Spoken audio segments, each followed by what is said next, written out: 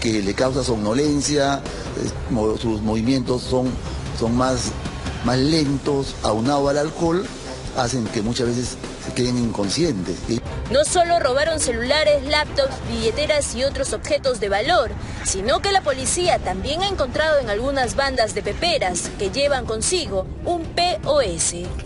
La banda ya no le interesa el celular o el precio del celular, el contenido es el que vale, porque van a vaciar todas las cuentas.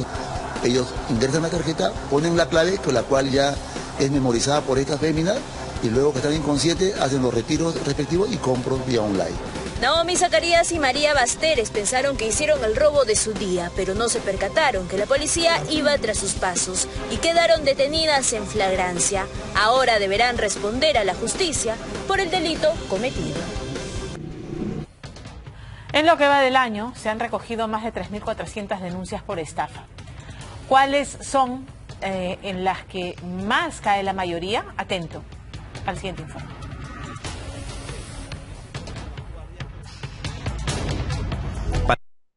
El mundo del AMPA no da tregua y se pone a la vanguardia con la tecnología para delinquir, para engañar y robar a los más incautos.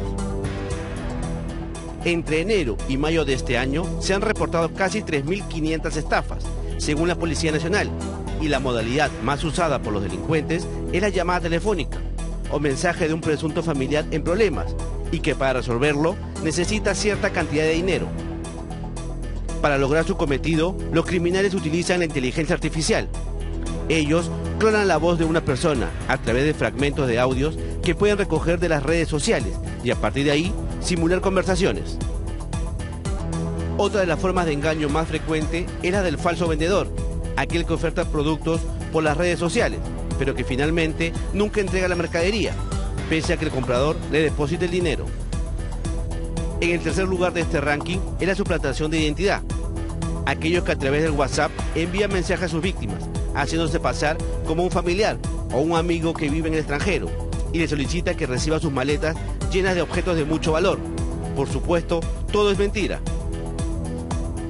Ya lo sabe, antes de realizar cualquier desembolso de dinero, verifique si su contacto es de fiar. Tenemos información en vivo desde Villa El Salvador.